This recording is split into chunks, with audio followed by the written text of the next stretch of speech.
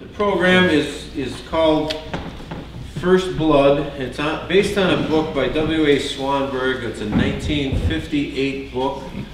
It's a great read if you have uh, the opportunity to, to get it, if it's still in the library. Uh, it's a big, long book. It's almost 400 pages. It's very hard to do a program on a 400-page book because there are so many highlights. There's so many people involved. There's so much dissent in Washington with all the senators and secretaries of war, state, treasury, that were all under the South.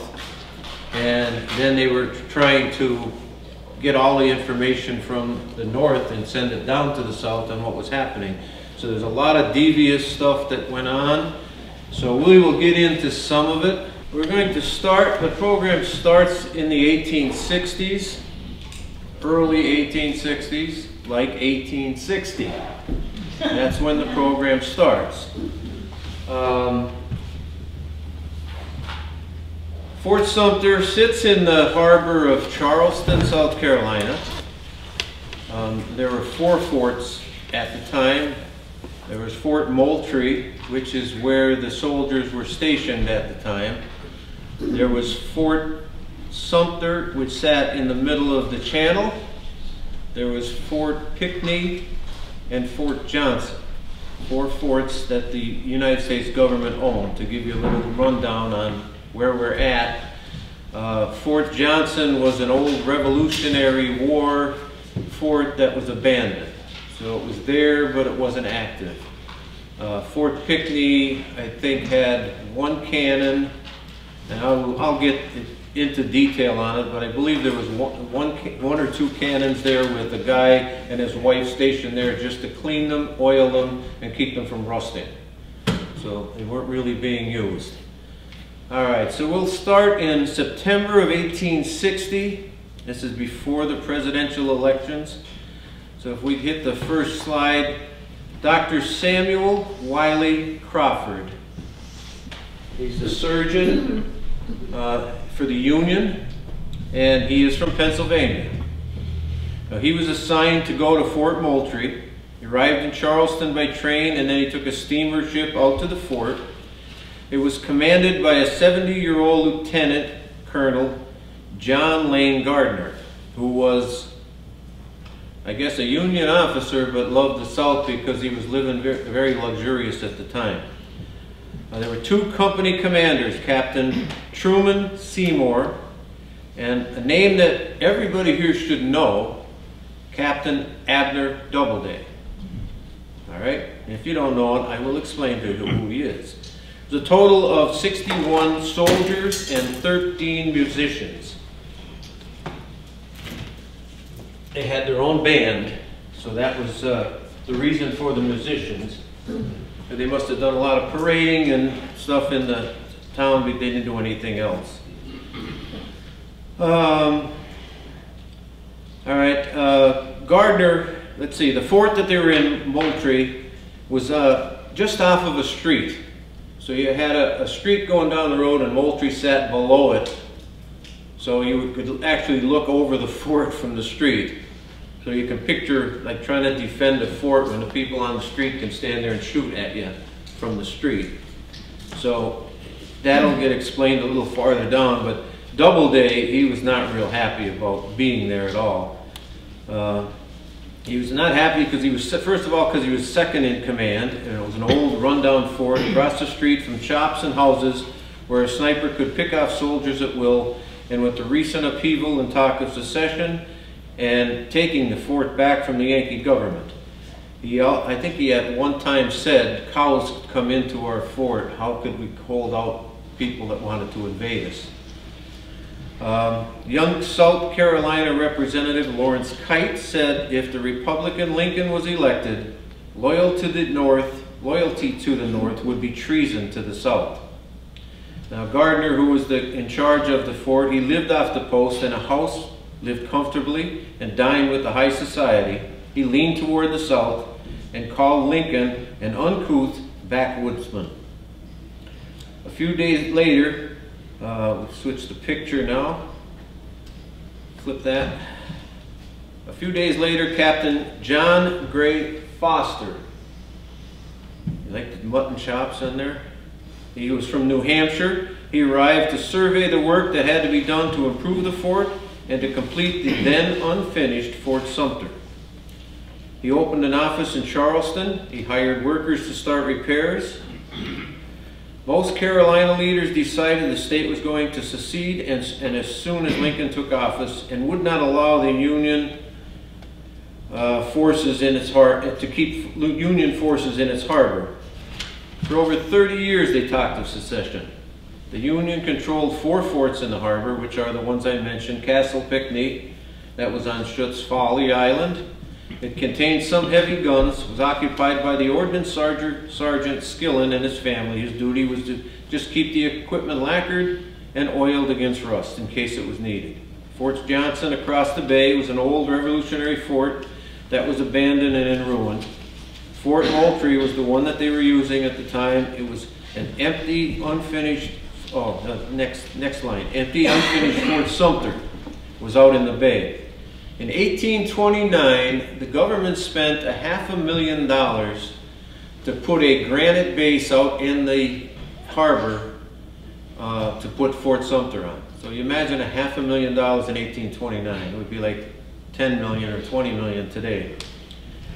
Uh, roughly, in later years, they spent roughly another half a million dollars to build a foundation. It was designed to be the most powerful in the nation with a garrison of 650 men, 140 cannons. But because we were in peacetime after the War of 1812, nothing else was done to it. They built the foundation and that was it. Um, the Carolinians knew that they needed the fort because they needed to stop the shipping coming into the harbor because they relied on commerce coming from Europe, from other parts of the South and coming up into the Charleston Harbor. So they know they needed the fort. They couldn't let the North get the fort and stop their shipping from coming in. So uh, now we're going to the next picture, uh, which is Robert Barnes Rhett uh, Robert Burnside read, I think it is, Burnwell. He despised the, the North and the government, and for 30 years he pushed for secession. He owned two plantations, 190 slaves, and he owned the local newspaper, which is the Mercury. Uh, there's a picture of the, the uh, an article in the Mercury in this book right here. Uh, the Mercury posted if Lincoln is elected, the Union will be dissolved. And they had a picture of the new flag that they they were going to fly. It was, of course, everything down south was, if you see the South Carolina license plate, you see the palmetto tree. So that was their flag. South Carolina was the palmetto flag. Uh, okay, so let's see, oh, he, for, for 30 years, he pushed for secession. He, he, owned 190 slaves, a newspaper, the Mercury, where he spread lots of rumors and riled up all the citizens. On November 5th of 1860, Governor William Henry Gist, he urged a thorough reorganization of the state's militia, calling for every man between 18 and 45 to volunteer and build up the troops to 10,000 men. Two weeks earlier, he sent an agent to Washington to negotiate with the Secretary of War, John Floyd. Next picture is John Floyd. This guy was the most devious thief, lying person in Washington. Um, he was the actual Secretary of War under the President Buchanan, who was a, we'll get into it later, but he was a South-leading leaning Democrat from Lancaster, Pennsylvania. So he was he was in, from the north, but he was supported by the south completely. Uh, he went there for, to, to purchase arms. Floyd, who was a Virginian, he approved 10,000 muskets at $2 each. U.S. Senator James Chesnut used the term black Republicans for the people in the North because the North was predominantly Republican and anti-slavery and supported the freeing of the black slaves. while the South was predominantly plantation and slavery owning Democrats from the South. Chesnut alone owned one half dozen plantations and thousands of slaves. With all the talk about taking the forts back, Gardner requested reinforcements from Secretary Floyd. Of course, he was refused because Secretary Floyd was, he was from Virginia. He didn't want to see anybody come in there and raise up uh, the arms against their people and be able to hold that fort. After pressure, he agreed to allow them to go, uh, no, this, I'm moving ahead too fast. That's why I hate reading a, pro a program. I like to just remember it and give it, but this was too long to do. Seymour and Doubleday urged Gardner to get more arms from the government arsenal in Charleston, which was owned by the Union, but he was fearful that this would alarm the military, the militia of Carolina, and cause an uprising. After a lot of pressure from the men, he agreed to allow them to go undercover, out of uniform, at night to acquire what they needed. They went to the arsenal, and as they were leaving the arsenal, lo loading up the boats, a man at the wharf stopped them, alarmed others, and a crowd gathered, forcing them to return all that they had in their hands, not what was in the boat. Um, congressmen from the southern states started resigning from their positions. There was talk about dividing the country into four separate confederacies. Lieutenant General Winfield Scott proposed garrisoning all nine southern forts. There were nine forts south of uh, Washington, D.C., to keep them from being overrun. Pre next picture, please. President Buchanan, oh, we're going into Anderson already. Okay. This is, I'll leave that up there. President Buchanan asked, how many men do we have? The answer was approximately 400. So how are you going to support nine forts in the south and reinforce Fort Sumter with 400 men. Most of the army was out, out west fighting Indians.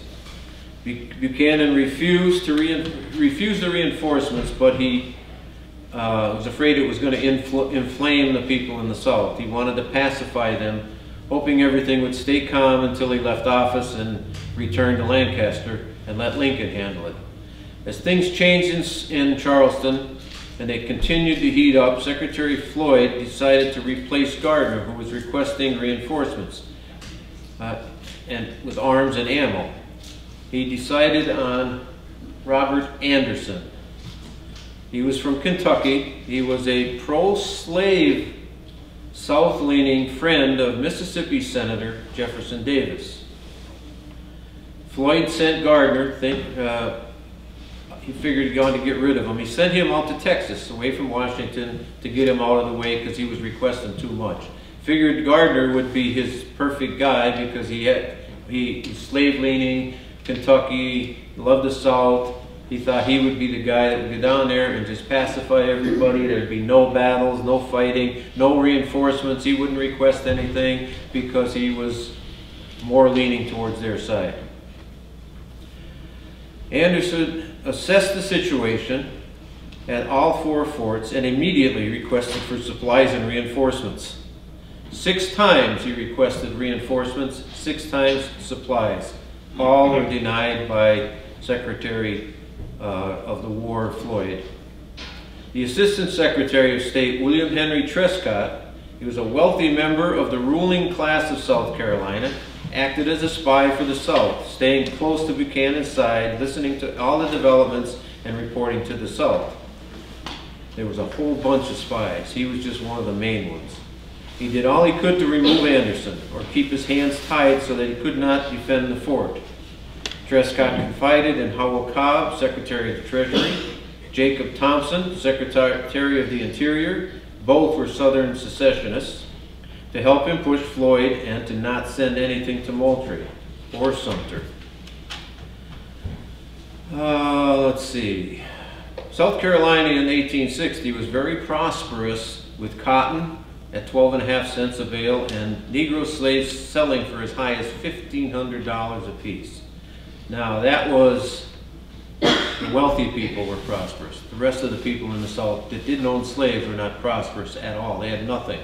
They had their own little houses and little cabins and little, tiny little farms. They didn't have slaves, couldn't afford slaves, so they were just, they were really poor people in the South, while the North was very prosperous, industrialist, um, big cities, so there was a big difference between the North and the South.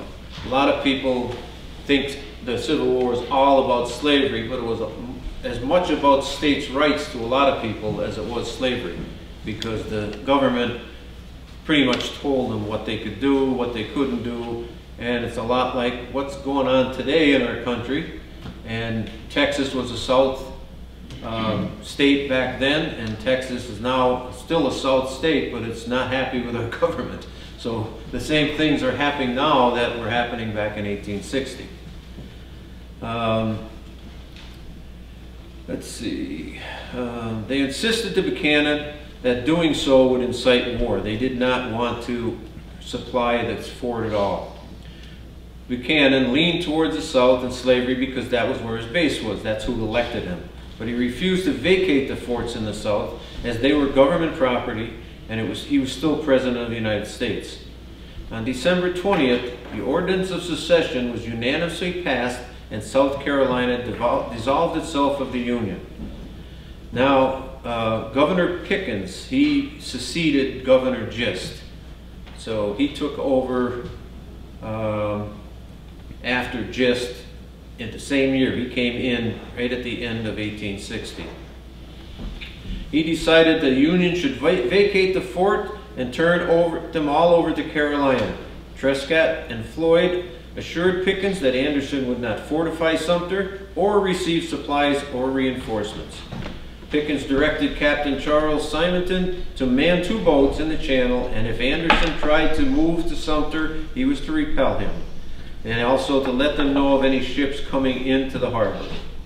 Meanwhile, Doubleday was outraged and pushed for Anderson to take the better defensive position at Fort Sumter and abandon all other outposts. Anderson was stuck in the middle. Um, he was uh, didn't want to stay in Moultrie because he knew it could be easily defeated, and he didn't know if he should move to Sumter because he wasn't ordered to do so, and he thought he might provoke a war. So Anderson decided on the evening of Christmas Day in 1860 that he would sneak out and move his men to Fort Sumter, where they would have a better defensive position. Uh, kept his plan for himself, never told anybody about it, but it rained all night, Christmas night, 1860. So he couldn't make the move because he had women and children and, and men and everything else, so he didn't want to do it. So he waited till the next morning. He sent all the women and children out of Moultrie and into the city to live wherever they could live with whoever they knew or get on trains and head back north. And then uh, he didn't tell his men until they were gone and the last minute finally told Doubleday to secure the flag and march his men down the street to a hidden cove and he loaded three boats for the trip across to Fort Sumter. He left seven men at Moultrie to cover his move and to protect him in case the Carolina boats in the harbor fired on them. Safely across, he ordered all the cannon destroyed at Moultrie and the ammunition brought over with the last boat. All right, then Buchanan, hearing of the situation, ordered Anderson to, to uh, protect Fort Sumter and if provoked by the, the militia, to not fire unless fired upon. Um, let's see, a report was sent to Washington, not reaching it until the 29th of December. And Governor Pickens, hearing of the move, sent an envoy to Sumter demanding the return of the men back to the Fort Moultrie. Anderson re replied no, the safety of his men would be better served at Sumter, and the government immediately ordered three companies of militia to Pinckney Island and occupy it. This, by Anderson's view, was an aggression, aggression of war as this was a government property. Anderson sent a telegraph to Floyd at the War Department stating that if the militia attacked him, his men would have been sacrificed, and that he spiked the guns and destroyed the, car the carriages at the Fort Moultrie to keep them from being used against us. Buchanan was surprised by the move, and he thought it to be a nightmare. Floyd and Trescott They were outraged because they had assured Pickens that nothing would change at Moultrie. Newspapers in the, in the north called Anderson a hero. Buchanan now, with pressure from Southern Democrats who elected him, fought with ideas of ordering return of, to Moultrie or abandoning the Charleston Harbor altogether. In Washington, there was praise for Buchanan and Anderson, thinking that he had ordered it. There were parades and marches in the streets in Philadelphia, New York, and Washington. Uh, Georgia Senator Toombs called on the president to make a decision now to return or evacuate because the cause of Charleston was the cause of the South. Buchanan replied, Do you mean I am in the midst of a revolution? Yes, sir, said Toombs. You have been there for a year and just have not yet found it out. So he was already in, in, in having problems. Now, next slide. I'm hoping is the right one. Okay, that's there's President Buchanan. That's what he looked like at the time. Gray haired. That's a younger looking Buchanan. Um, that's a little bit earlier, I think, than 1860. All right, so now we're going to jump over to the next slide, which should be Jeremiah Black. Uh, that's Trescott. All right, so we're, we're ahead of ourselves. That's Trescott. He's one of the guys, he was the Secretary of the Interior uh, under Buchanan, and he was in cahoots with Floyd to try to make sure that nothing was reinforced in South Carolina at all in any of the forts. Now, Jeremiah Black, he's a fellow Republican Democrat, but a, and a supporter of Old Buck, the Buchanan, the president, but he was outraged at the thought of deserting the fort, pleaded for supplies and reinforcements, because he, he was a unionist, but he was a southern voting Democrat from northern Pennsylvania. But he was leaning towards the Union. He supported the Union all the time. He threatened to quit as uh, Secretary of State. Lieutenant General Scott and Northern senators begged the President to send two ships with men and supplies immediately to Fort Sumter. The thief and traitor Floyd telegraphed General Bonham of the South Carolina militia to cut off supplies and take Sumter as soon as possible. Scott sent an order to Fort Monroe, New York to ready four companies to depart on a 25-gun sloop called the Brooklyn to aid Sumter. Buchanan still wished for Anderson to return to Moultrie, but when he was told that the Carolina militia had taken positions of uh, Pinckney, Moultrie, and Johnson, the arsenal, the custom house, and the post office, he was outraged. At the President's New Year's reception in New York, those from the South insulted him by refusing to shake hands or talk to him. After days of negotiation with the Southern Commission, a change was made to send a merchant ship, the Star of the West, with supplies only to Sumter so that they wouldn't cause a, a, a, war by bringing a man of war ship there. So they got they hired a merchant ship and they took men and held up, kept them in the hold and just brought reinforcements of food and supplies to them. And Buchanan said if it's fired upon, it'll be fired upon a, a ship of bread. So he didn't want to uh, enrage the people in the South. Anderson watched as the Palmetto troops occupied the old Fort Johnson, Fort Moultrie, uh, Pinckney. He was divide, denied position, provisions from Charleston. The militia seized the arsenal and its 22,000 muskets, cannons, and large quantity of ammunition. Governor Pickens thought Sumter was stronger and more well defended, delaying his attacking it though. He thought there were more people there and better weapons and everything.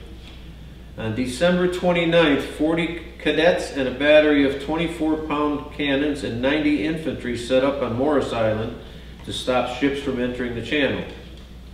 January 7th, Buchanan and General Scott sent the Brooklyn under Captain David Farragut. Uh, flip that from Buchanan and from Trescott, see who comes up next. Okay, that's Thompson. He's another one of their um, secretaries. That's where we're at now.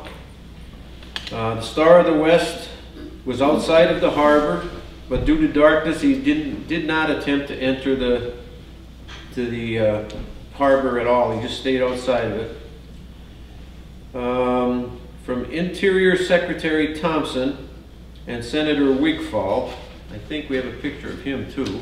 He might be the next one, I hope. No, that's Pickens, he's the governor. The pic pictures don't line up with where I'm at, but that's the governor of South Carolina, Pickens. The, the Palmetto defenders were on watch.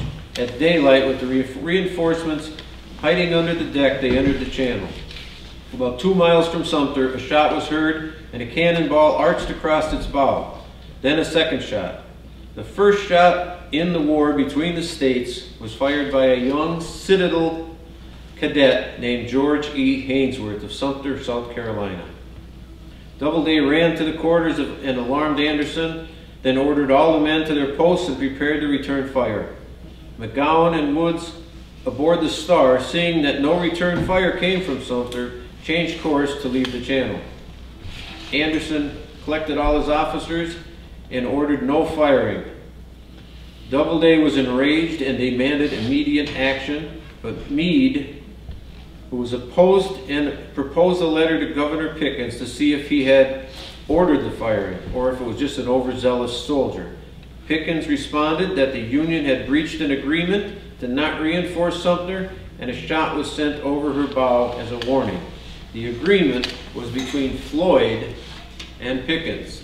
Had nothing to do with anybody else. The president didn't know about it. Anderson didn't know about it. It was just Floyd, the Southern leading Secretary of War, who had an agreement with Pickens that not, he didn't want to alarm them. So had, nothing was ever done with the president or Anderson. So they didn't know anything about it.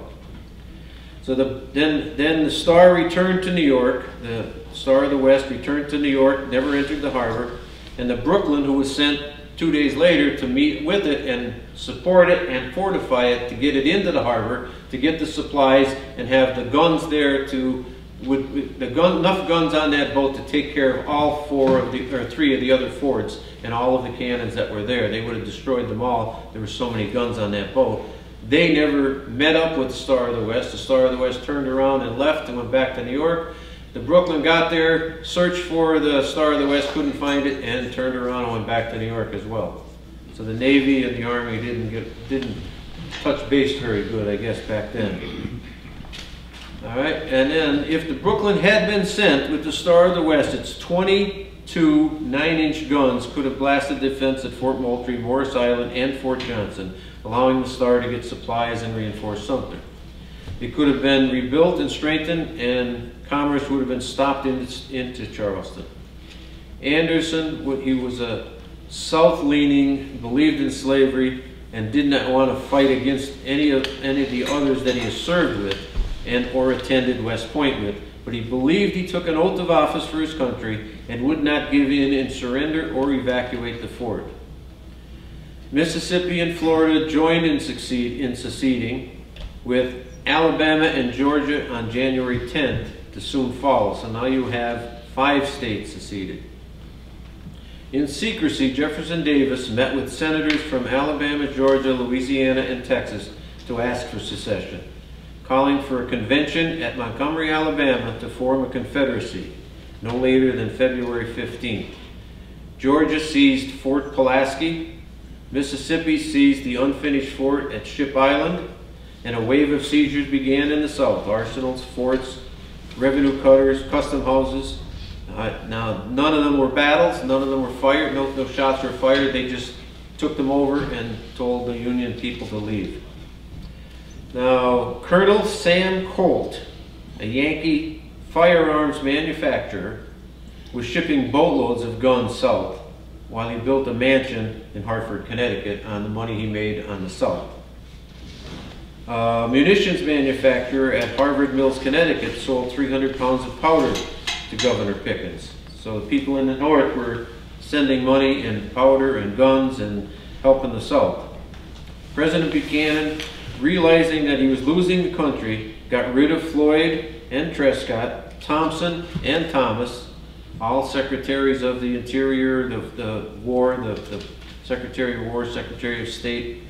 He, he tried to hold off the war until Lincoln took over. This gave Pickens time to build up his forces. fortify the forts surrounding Sumter and with cannons and men. More of the Southern Democrats deserted him because he wouldn't wouldn't do what they wanted. The press was against them, and public, all the public, public up north and down south was against them. A regiment of volunteers advanced on the United States Navy Yard at Pensacola. Union Lieutenant Adam Slemmer at Fort Barrancas nearly spiked, he, he, that was nearby uh, Pensacola. He spiked all his guns and took his 46 men and 30 seamen to nearby Fort Pickens, named after the father of Governor Pickens. Um, that was on Santa Rosa, Rosa Island in Pensacola. Back in Sumter, Anderson's troops in a cold, damp January suffered from, the, uh, from no fresh food, poor living conditions, and low morale. To make things worse, the Carolin Carolinians had bolstered its cannons against Sumter, surrounding it with heavy guns and, and uh, four colonels who had experience using them. I think we have a, the next slide, I hope, is this is this was when Major Anderson was leaving and going into Fort Sumter. This is a move of them going up into the into Sumter. Uh, next one after that. That's Jeremiah Black, uh, Secretary of State, who was also, and we lost everything. Go to the next one. This is General Scott. General Scott was uh, an aide to Buchanan, and he was uh, on the fence. He didn't want to start a war. So he was uh, there to, I guess, pacify everybody and hopefully get them to not start a civil war, but he, he didn't really want to vacate the fort, but he also didn't want to reinforce the fort. Go to the next one. Uh, this is Wigfall. He was a Southern, um, he proposed kidnapping the president. Uh, he was he was the eyes and ears of uh, people down south while he was in Washington. He hated hated the North. Um, he wanted he, he was just uh, very adamant that he didn't want anybody in the North to, to take over anything in the South. That's what Fort Sumter looked like. That's, it's a pretty big monstrosity of a fort in the middle of a harbor. Um, this, I mean, you can see how huge it was, and these, all of these are gun ports in here, and gun ports up here, and those are the roofs of the barracks up on top. And uh, I think, uh, oh, this is uh, one of the other forts on the other side across the bay, and another one on the other side across the bay that would be firing at them. It was a pretty monstrous, monstrous fort at the time. It was really well built and well defended, but you have to have the men to be able to defend it, and they only had 60 men. So let's see where I was.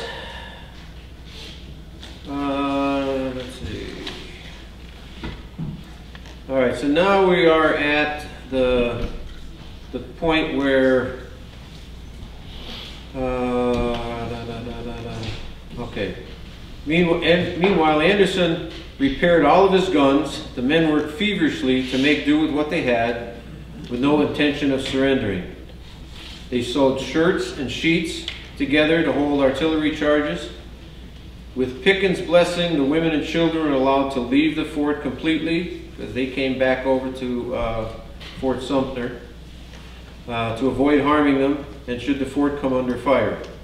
Senator William Henry Seward of New York, I think we have a picture of him next, I hope.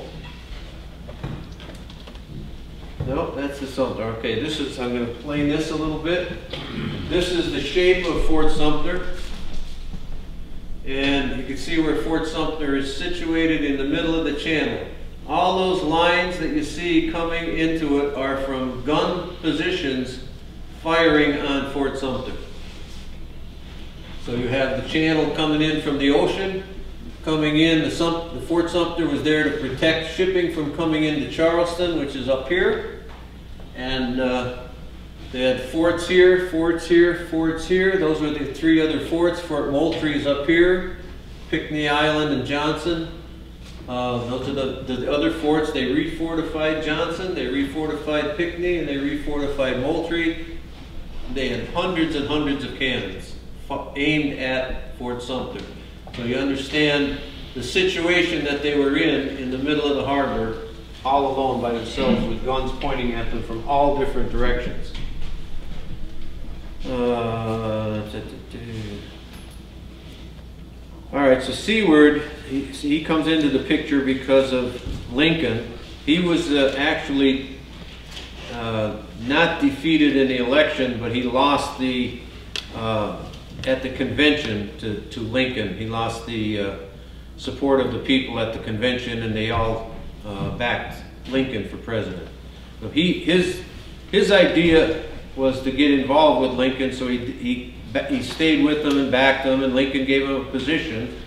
So he uh, told everybody that he was going to run the government, that he was going to control Lincoln, that Lincoln didn't know anything, he was a backwoodsman, and that Seward from New York was a more uh, well-mannered, well-liked, well-known, and he was going to control Washington, and he was going to run the show. So he lost the nomination at the convention to Lincoln, said that sit and hold your temper until March 4th. That's when Lincoln would be inaugurated and he would be taking over. Trouble will soon be over when he ran the government, controlling Lincoln. I will try to save freedom and my country, he said. He said, Madmen North on January 3rd, Madmen North and Madmen South are working to seize the government a dissolution of the dis dissolution of the Union by civil war. Now, third president comes into the picture now, ex-president John Tyler. He comes up from the South for a peace convention to talk to old Buck Buchanan and try to stave off the battles at Fort Sumter. Hearing that the Brooklyn had sailed, he thought all was in vain. Buchanan lied to him, telling him that she went on a mission of mercy and relief not connected to South Carolina. Tyler urged the removal of troops from Sumter. Buchanan stayed firm that Sumter belonged to the Union. Another looming problem was Fort Pickens in Florida. The U.S. men of war Sabine, St. Louis, and Macedonian had arrived, and the Brooklyn, with a company of regulars under Captain Israel Vogdes, was on its way. Buchanan agreed not to reinforce Fort Pickens, but only to give it supplies. With Lincoln nearing his time to take office, an organization taking the cue from Masonry, I hate to say that, with a lot of Masons being members, including Jefferson Davis, and a lot of Northern Masons as well, it was a large group called the Golden Knights of the Golden Circle. And I never heard about it until I was watching the History Channel the other night and they had a little topic about it. And a whole bunch of them were caught right down, not too far from here, down by Lancaster in Heidelberg. They met in an old barn down there, and the way they caught them, there was a young couple that snuck away and jumped up into the hayloft, and they were just doing what young couples try to do when they're hiding from people in a hayloft. And they were up there overseeing a meeting of the Knights of the Golden Circle that was going on in the barn down below. So they reported, of course, reported it the next day, and then they started watching this barn, and then they ended up catching the people in the Knights of the Golden Circle. Later on in the war, the Knights of the Golden Circle had a plot to release all of the Southern prisoners out in Chicago. This was back in 1863 or 4, later on in the war. So they were trying to do that. And Jefferson Davis was one of the members of the Knights of the Golden Circle. So I'm researching more about that. I'd like to do a program just on that if I can. Because I don't have I, I don't have any memorabilia that I've ever purchased on the Knights of the Golden Circle, so I have to find something. Um, anyway, the uh, the Knights of the Golden Circle were uh, pretty much stopped by Allan Pinkerton. Pinkerton, everybody knows the name of, of Pinkerton from uh, how he stopped the stagecoach robberies and everything else. And he had a lot to do with getting Lincoln into um, back into Washington. So I think there's a little bit in here, I wanted to read it about out of one of the books because it's a little bit more in depth. Um, all right, so we're down to the Knights of the Golden Circle. Uh, they plotted to kill Lincoln. And a man named Tom Harding, he plotted to blow up the stage that Lincoln would be sworn in on. But he was caught by Pinkerton and his men on the banks of the Potomac as he, after he crossed across the Potomac into Washington. Uh, a plot to kill Lincoln was on, uh, to kill him while he was on his way to Washington. That was foiled by Pinkerton as well. And uh, they were, they put a cloak over his head and uh, he was supposed to be on a carriage and coming up and they Pinkerton got him onto a train and snuck him out of Baltimore and into Washington DC. Uh, Jefferson Davis was elected president of the Confederacy at their convention in Alabama and hopes of a peaceful transition. When he resigned from his post from uh, Senator of Mississippi in Washington, he stressed specifically that he did not want war, he was against war, and that he wanted a peaceful transition. He wanted the Confederacy to be separate from the Union, and he knew that it was illegal to be separate from the Union, but he wanted a peaceful transition. He did not want war. Um, okay, so now let's see. He stressed that, but gave, uh, but he was worried about Governor Pickens. He was always worried about his temper and what he was going to do. After telling Tyler of his aim to avoid bloodshed, Pickens did, he was planning his attack on Sumter. He wanted to attack while the Union troops were in Washington protecting Lincoln's inauguration.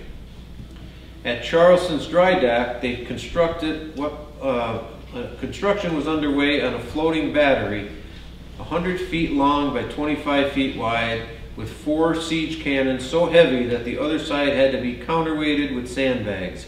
Five big cannons uh, also arrived in Charleston Harbor from Tredegar Ironworks in Richmond, Virginia. I was there, so it's along the James River right alongside. If we go to the next slide, I'm hoping that the, the battery, the floating battery is on it. I hope I got at least that one right. Like the next one, you mean? Yep. No, that's Seward. Okay, well, we'll leave Seward up there so you'll see what Okay. Seward, he was the guy that was gonna take over for Lincoln. He was gonna take over and run the presidency, run the country. Uh, he was the one from New York, and he was going to, uh, tell Lincoln how to run the country. There's the floating battleship, hundred feet long. It had iron on the bottom, wood, cannons. They lived in it, they stayed in it. It was uh, 25 feet wide by 100 feet long. So, you know, it's a pretty big sized ship for back in the day. And that was the, what they pulled out in, in, from Charleston, came out to the backside. So it was behind Sumter. If Sumter was facing the ocean, it would have been on the backside of Sumter. Um, all right, so now three more were, uh, cannons were set up on Cummings Point, and uh, on March 1st, Pierre Beauregard, he was now a brigadier general of the Confederacy. At one time, he was in charge of West Point, and uh, he left West Point as soon as South Carolina seceded and went back down south. Um, he was take charge of all of their artillery. He was a he was a cadet at West Point under Major Anderson, who was the Union uh, major in charge of Sumter. Washington looked like the city of Washington looked like a city under siege.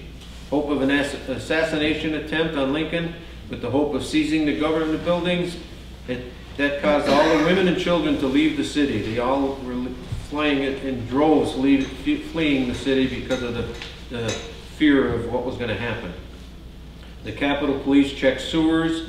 They had all possible hiding places covered, snipers on the roofs of all buildings around the parade route and the platform. Soldiers were placed under and around the platform where Lincoln, the exchange of power was to take place. Nothing happened. Thank God. The contrast between the elderly white-haired Buchanan and the tall, cold black-haired, rugged-looking Lincoln suggested exhaustive energies of old were to be replaced by the vigorous strength of Lincoln's new administration. His first words were, no state upon its own mere motion can lawfully get out of the Union. The power confided in me will be used to hold, occupy, and possess the property and places belonging to the government. We must not be enemies. Secretary of War Joseph Holt, I'm hoping he's there. No, that's Beauregard. I didn't, didn't even have him marked down here. He, he's the one that came down and took over all of the artillery. Now, let's see if Holt's there. Maybe I'll get one right. There he is, Postmaster General Holt. Secretary, Postmaster, he received letters from Anderson and his men that Buchanan refused to address rather than to turn over to Lincoln. Uh, Buchanan never got all of the letters that Anderson and his men sent him over to anybody and on Lincoln's. He finally gave them to Holt and Holt gave them to Lincoln. Um, The assumption that Lincoln was to surrender the fort, known to his friends in the press and in the South, General Scott drafted a letter to Anderson to withdraw, but Lincoln refused to let it be sent. Headlines of the event of summer, Sum- of Sumter determined in the newspapers that uh, Anderson was to go to Fort Monroe, leave Sumter. These were all going in the papers down south because they kept sending them down from Trescot and Floyd and everybody else, Thompson and all of the people, Ruffin, and uh, all the people from the south that were still in Washington and uh, staying there just to get information down there. Meanwhile, Governor Pickens had been buying cannons, and his army was now 8,835 men strong. April 3rd, Anderson wrote a letter to the new Secretary of War Cameron that his food was exhausted and he could only last four or five days. General Scott and Seward believed the fort should be evacuated. Postmaster General Montgomery Blair, which we've seen earlier, he spoke out against it in favor of reinforcing the fort. He did not trust Scott or Seward. The next day, Lincoln sent notes to the Secretaries of War and the Navy that an expedition to move be sent to move by sea, be ready to sail as early as April 6th, and to be ready if needed to aid Anderson or help with an evacuation. Lincoln sent a ship under Captain Fox to first send a patrol boat of provisions to the fort, and if it were fired on, this is where he said it would be uh, fired on a boatload of bread. Uh, Robert Chew was sent from the State Department along with Captain Theodore Talbot. They were to deliver a message to Pickens about the delivery of food supplies. April 10th, Captain Fox sailed four days later, and uh, on April 3rd, a shot was fired. Men in the ramparts in Fort, in Fort Sumter were amazed to see a little schooner. If you remember that picture of Fort Sumter and there was a little boat with sails on it, that was the schooner that they meant that came in flying the United States flag. Um, it came in out of the fog into the main ship channel. Anderson again summoned his officers on what were to be done. Five men were in favor of retaliating, three were opposed. Anderson chose the latter. Doubleday again was outraged. Anderson sent a boat under a white flag to Morris Island to inquire if the firing, uh, to inquire of the firing. Colonel de Saussure stated that he was under orders to fire any, on any ship flying the U.S. flag that attempts to reach the fort. The men then rowed out to the schooner, interviewed the bewildered captain, Master Joseph Hart, who simply got lost in the fog and was on his way to Savannah, Georgia. He had nothing to do with anything to do with the government, wasn't there to do anything, just happened to get lost and they fired a, a shot across his bow and he just turned around and left. So that was not any of the ships that were sent there. Anderson protested to Pickens, who agreed that the firing should never have happened. Anderson started preparing for the worst. The men were given one cracker in the morning and one cracker in the evening. Cameron sent notice that the expedition should arrive with supplies by the 11th or 12th of April. So now they're waiting on, on food to come. Captain Foster, who was the second guy that showed up down there to, to fortify the fort, he shored up the walls with old gun carriages. He took, they knocked off old, the old cannon carriages, fortified the walls even higher, and added more masonry to it to, to build up the walls. Um, Beauregard received his orders to demand evacuation of Sumter or he would reduce it. He had 5,000 more soldiers arriving. The floating battery was now towed out to the west end of Sullivan Island, out in, towards the channel, so we had a better line. Its guns cutting off any ships that were to come in from anywhere on the backside, adding firepower against the fort. On April 12th, at 12:45 p.m., that's in early in the morning, a boat under a white flag was approaching Sumter. Three aides got out with a dispatch from Beauregard asking Anderson would he be, when he would be forced by starvation to evacuate. Anderson again called all his officers, asking them what they thought. Dr. Crawford, who was the first guy that was sent down there, he was a doctor, but he actually ended up fighting, doing a lot of the fighting.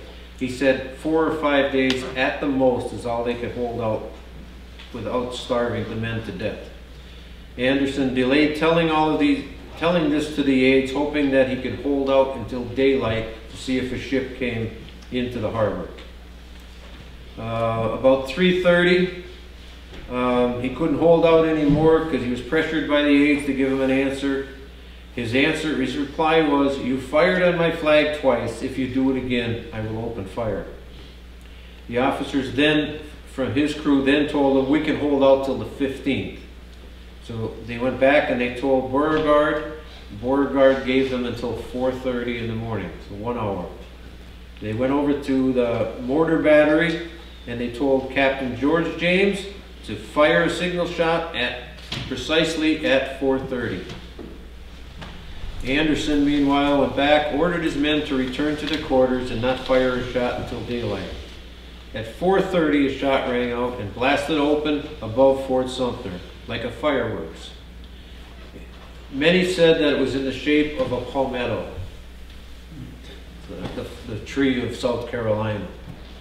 All hell broke loose and cannons fired from every direction. One shot hit just above Abner Doubleday's head, but his hatred for the South kept him from getting out of bed. He said, "They're not getting, they're not going to rile me up. He's going to stay right there." So he never even moved. Um,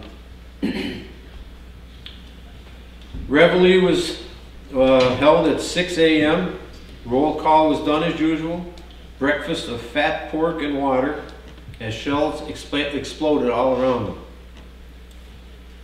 Anderson orders men under the, the casements. The casements were uh, the arch, the big arch, concrete archways that where the cannons were. So they were more well protected because everything above them was quite high, and they were in the lower casements. They didn't. They weren't in the upper casements. Um, Let's see where that was. Uh, all right, he told them not to fire the cannons on the upper ramparts. Be careful of yourselves, men. Anderson gave Doubleday the permission of firing the first shot. He felt the United States was called upon not only to defend its sovereignty, but its right to exist as a nation. Just short of 7 a.m., he fired a 32 pounder. Now, this is, me was funny. Its shot hit the slanted T-roof, T-rail roof of the iron battery at Fort Moultrie and bounced off of, as if it was one of Doubleday's baseballs. so they really didn't do anything at all. Um, all right, so then, then his, his shots bounced off and uh, he asked to switch to shooting right at Fort Moultrie. And Anderson agreed. Private John Connery of H Company. He disobeyed all the orders of Anderson, climbed up on the ramparts, and one by one fired every cannon on the upper deck by himself. He was not supposed to do that, but the only reason he stopped doing it was because he could no longer reload the cannons by himself. You needed two people and three people to reload the cannons and fire them. Two sergeants saw what he had done so they snuck up on the other side and also fired 10-inch uh, guns on the other side. One of them actually, when they fired it, bounced off the rampart and fell backwards, but it fired. Um, Confederates shelled, continued to shell their barracks into a total wreckage. Four men were wounded by splittering brick and masonry. Um, no, no casualties as of this point. Um, Sumter started the day with 700 cartridge bags. Now they were reduced to only firing two guns at a time. Doubleday looked out towards Charleston and saw all the people lined up. Let's see if I have that picture. I'm hoping. No, that's the picture of Seward. All right, so we're now back to, this is Seward over here in a cartoon, and this is Lincoln over here balancing peace, the dove on this side, and Fort Sumter with the flag on this side on his head. So that's a cartoon that was in the newspaper. I could see that in the Scranton Times. They would do that. They'd make it look nastier though. Um, all right, so let's see. All right, so we're at we're Doubleday decided to fire a ca cannon. So let's see if that goes to the next one. Uh, get him out of there too. Blair we already had. There's Doubleday. That's what Abner Doubleday looked like. That's the guy that uh, invented the, not baseball, but the diamond that baseball was played on and the rules for the game of baseball. Abner Doubleday. So that's what he looked like. He was a very intense person and very, he, he really wanted to fight. He, he wanted, didn't want to just sit there and do nothing. So at this time, he looked out towards Charleston and saw all the people lined up watching. Let's see if the next slide goes to the people watching. There it is. No, that's not it either. All right. I got none of them in the right order. Okay, so this is what the inside of the Fort Sumter looked like. So you see the cannons up top and the cannons down the bottom. And then these are mortars that are in the center and the big cannonballs. And I do have pictures. If you ever get a chance to go down south, go to Richmond, Virginia to the uh, Museum of the Confederacy in Richmond. It's a small white building. It's a beautiful museum. And they have some of the big cannonballs there and some of the shells that would have been fired from these cannons. Uh, it's probably one of the best museums I've seen. They have actually have the saddle, sword, and gloves of Robert E. Lee, the actual ones, not fake ones like you see in some museums. Uh, they have original flags uh, the stars and bars and the original Confederate flag before the stars and bars that were there um, with the round circle of stars. They have so much in there that's all original swords and guns and pistols and boots and, and canteens and everything. It's a great place to see. All right, so anyway, we're, we're to, to where uh, he's, let's see if the next one goes to the, the city of Charleston. Oh, there it is. There you see the fort way out there, and then the firings over here and over here, firing onto the fort, and all the men and ladies on top of the roofs of the buildings, looking out, watching this battle going on. So Doubleday looks out and he sees all this. He sees thousands of people lined up and cheering and, and uh, troops standing there doing nothing because they all had rifles. So, so you see nothing there. So he decides, well, I'm going to do something about this. So he turns his cannon and he decides he's going to send it over to Hotel Moultrie, where he st said he stayed and had a bad bed, didn't have a good bed and didn't enjoy his stay there. So he decided he was going to fire upon it.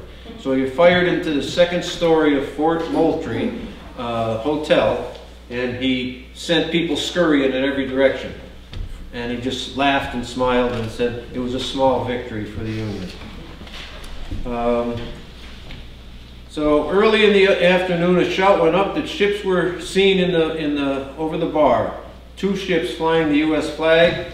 This invigorated everyone. Of the workers, even the workers and the band members started loading cannons and sewing cartridge bags. And by midnight, uh, re no relief boat came. It, they just stayed out in the harbor. No boats rode in, no, no supplies, no nothing. So Anderson's men slept.